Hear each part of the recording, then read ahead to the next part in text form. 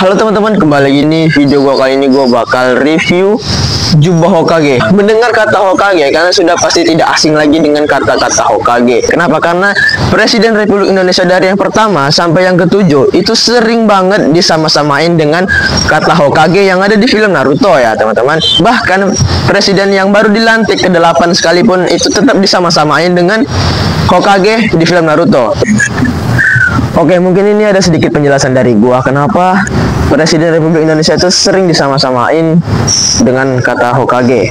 Ya, Hokage itu adalah pemimpin dari sebuah desa Konoha yang ada di film Naruto ya, teman-teman. Nah, jadi ada beberapa kesamaan antara Hokage dan Presiden Republik Indonesia ini.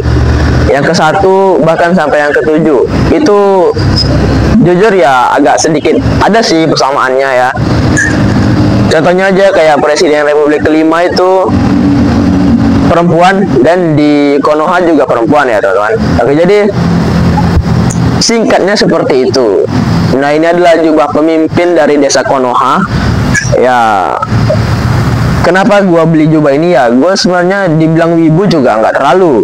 Ya gue cuma suka nonton film Naruto aja karena pas kecil itu di TV ya cuma Naruto dan itu jadi terbiasa dan gue jadi suka itu aja sih teman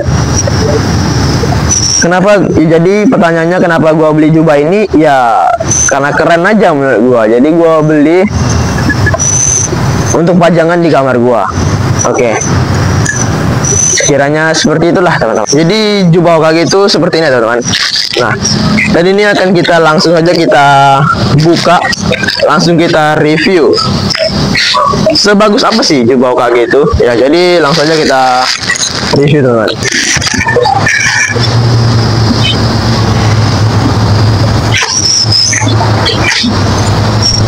Oke, jadi seperti inilah Jubah Hokage ya teman-teman.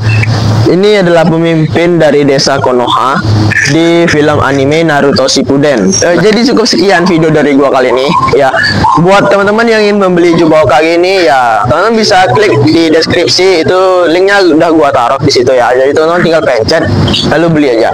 Ya, semoga jangan lupa subscribe.